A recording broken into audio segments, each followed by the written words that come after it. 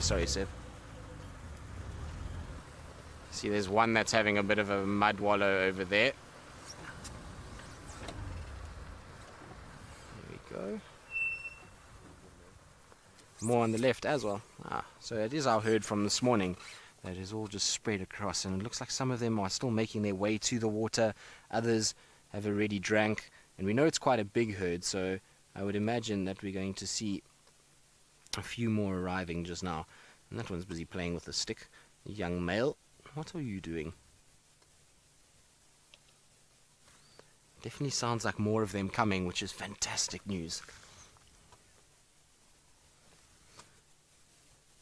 Christine, you're wondering if the tusks continue to grow throughout their lifetime. Yes, they do, but don't forget they also get worn down throughout their lifetime. So as they go, so those tusks are getting worn and blunter as they're being used. So even though they do continue to grow, there is some wear and tear that happens that will limit that amount of growth. It also has genetics as well. Some elephants will have tusks that grow quicker than others and thicker than others. It's not always that every elephant is going to get big long tusks. So there's a bit of genetics involved with it, but they do grow out throughout their life. What you doing? So I believe when they rock their foot like that, it's a little bit of indecision as they're not 100% sure which way they want to go. So they wait until they've got some backup or, or just throwing sticks on top of their head. Apparently is also what you do when you have your foot up and it's resting a little bit. When they rock like that, it's just a bit indecisive as to what they do. You can see he's had a dust bath today as well. Got nice white dust all over his head. Hello, young boy. Here comes another one. And there's still quite a few to our left-hand side, so I would imagine they're all slowly but surely coming down for a drink.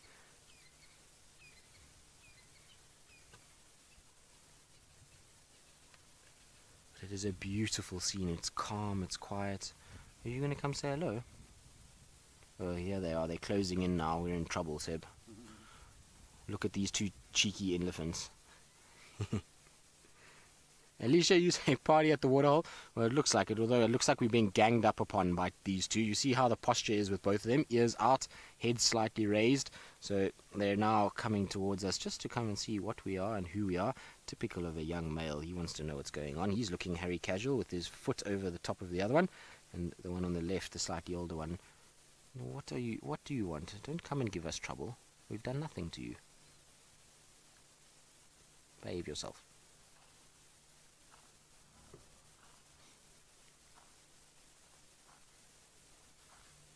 So look at the posture. You see how she's trying to make herself bigger? He, sorry, he's trying to make himself bigger and is trying to threaten us. But because we're standing our ground and he's young, not 100% sure about this whole thing, and that's why now am moving off a little bit. He's going to go back towards the herd. If it was a big old male and it was showing that posture, there's a very different story. These youngsters, you've got to teach them a little bit. You've got to show them that you are not scared of them and that you don't worry about them and you sit and wait and just sit it out and eventually that's what happens is they learn not to come near you and they go off and back down to the water. But you can see they've dug a massive hole where that male is there. He's thrown mud all over himself but there's a nice deep hole at the base of the feet that he's busy pulling mud out of and they've dug that by the looks of it with their feet for water to seep through. So there'll be nice clean water in there. And then once they've drank they then start to throw mud and get it all muddy and collapse soil in there.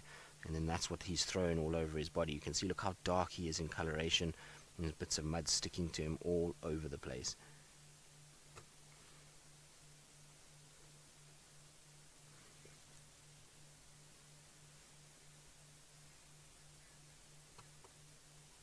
sleep.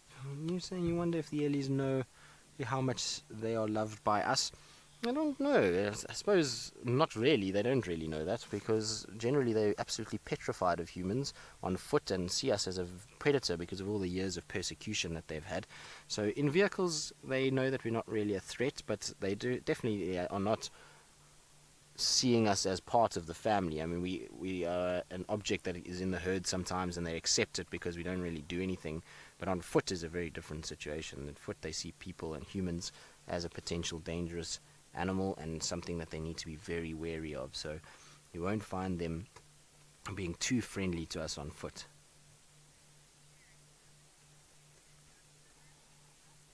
Swister, you're wondering if an elephant could ever cause serious damage if you were attacked by them.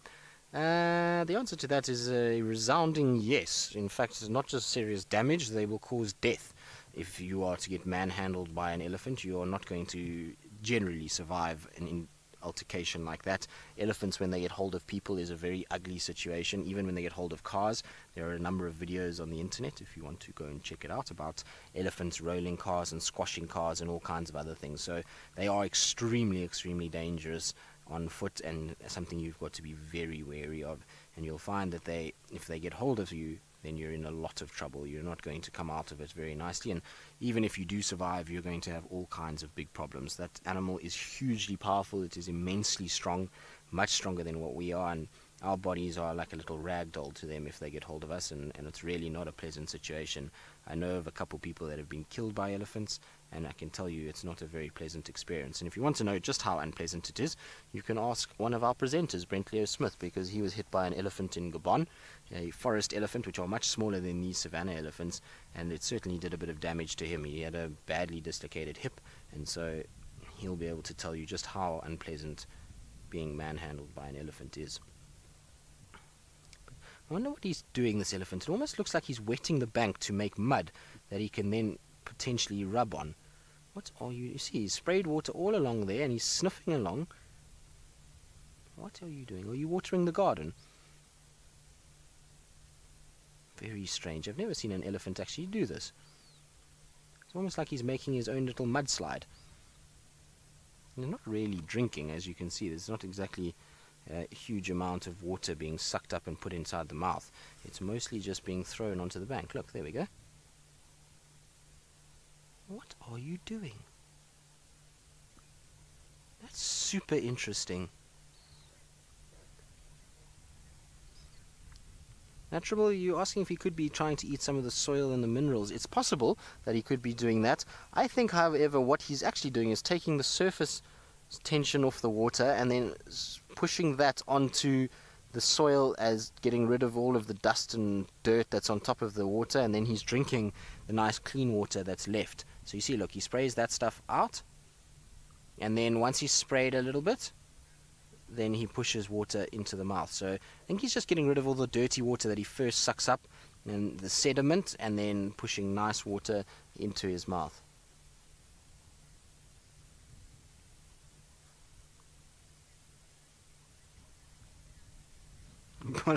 you say you think he's building a sandcastle. I like that idea. I suppose uh, when you young children down at the waterhole and the muddy areas, they're going to make little sandcastles, and that's maybe what he's doing. It would be nice. Imagine if he did build a sandcastle. It would be very clever, wouldn't it? I reckon an elephant sandcastle would look quite good. You can see a number of other elephants starting to arrive now. We're getting lots and lots and lots of them coming through there's a lot of babies that are going to come through just now as well. This is the first part. The rest are still in the bush, but are slowly but surely heading down in this direction. So they're going to be with us fairly soon. So they obviously came down for a drink during midday, then they went off to feed, and now they're back again. This is the same herd we had this morning, that big herd that we had. It's exactly the same sort of composition of them, and I've recognized a couple of these individuals from earlier. You can see they're actually having a mud wallow now. You can hear him slurping up the mud and spraying it. There we go. Digging out a little bit of that soil. There we go.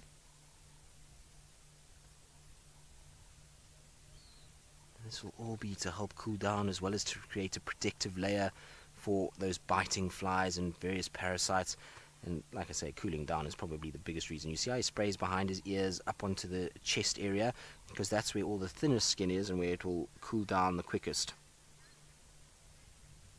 Deadhead, you say you love elephant personalities. They are the best, aren't they? They've got so much sort of spunk and so much attitude and, and, and personality to all of them. And each one's different. Each one has got its own kind of uniqueness. And they really are an incredible animal when I spend time in Kenya with all those orphans, each one has its own persona and its own way of doing things. They are some of them very naughty, others are shy and reclusive, others are playful. It just depends on the individual. It's really amazing how different they actually all are and how each one is very much like people and completely unique in the way that they go about their day and their business. Is magical sitting here at this time of the day. It's that sunset period. We actually have the beautiful big red disk of sun going down on our left hand side. It is a wonderful, wonderful scene. So there that is.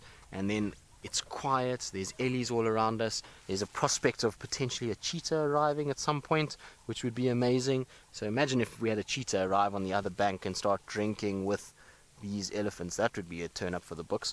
So there's lots going on, and it is just so pretty being out here and quiet. Pleasant, isn't it, Seb? Very.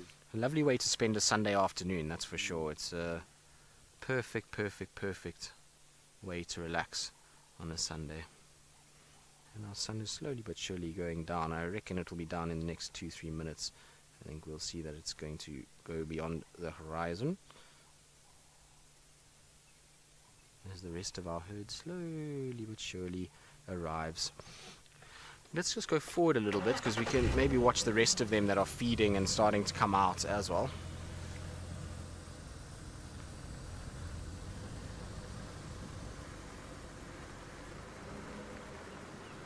I was thinking about going down to where they've got that mud wallow, but then I remembered that elephants throw mud a long way away. So I don't really want to go get covered in mud. So I probably won't head too far that direction. But what we will do is there's a little path here, and we can then just park and we can watch them from on top, as well as all the others that will start coming past us.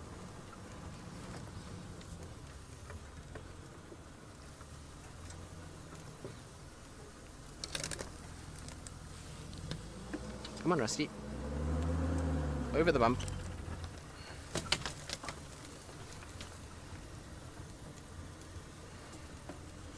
We're just going to park ourselves over here, just on top of the bank.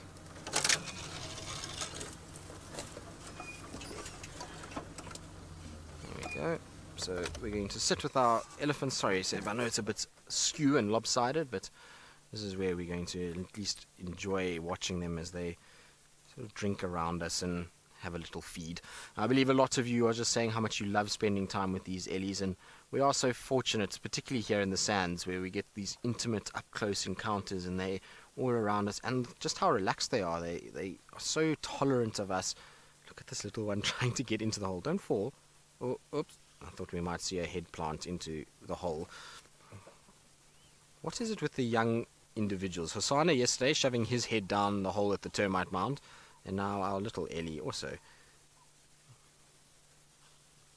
I feel like we're going to get one or two of the tiny babies arriving and they might disappear down that hole, which would be quite entertaining to watch because there will probably be a bit of screaming. You can't fit in there. what are you doing? Well, there goes the mud bath for everybody else. It's too small for you to sit in there. You can't sit.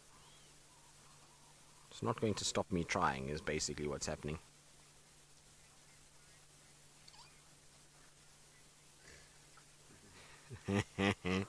so, but if you were wondering when exactly I, myself and Byron were going to join this scene and run into the mud wallow since we've got our mud wrestling match coming up and we need to get into training, well, Byron's not here, so I don't want to get any unfair advantage over him. If we're training, we're going to have to train, you know, at the same time. I can't get all my techniques down pat and not give him a chance to train, although he is in the Timbavati game reserve, so maybe he's found some mud wallows of his own and he's doing some sneaky training in his speedos. I'll have to try and find out from some of the sources that we know there. I wouldn't be surprised if he is. It's good weather, and, and we know Byron loves a bit of mud wrestling, and, and Timbavati was where he trained when he was the champion back in the day, and so he's gone back to his roots and back to his training ground, and I'm sure he's busy doing getting up to no good in the mud that side. So I'll have to, uh, I suppose, put in some hours at some point, and we'll have to see how it goes. But we, we have to wait for Brenton and James and Scott to come back because they're also all part of this challenge as well. So until such time as we've got them here, we're going to have to uh, try and hold off a bit of practice. Although I suppose they can practice that side as well. Right, well, we're going to sit and enjoy our Ellies because, well, why wouldn't you want to? It's just the most magical scene being here with them. And while we do that, our Ellies, I think, there's still some more coming behind us. But Steph is back up and running and still with his lions. So let's see if they're going to be mating a little bit more.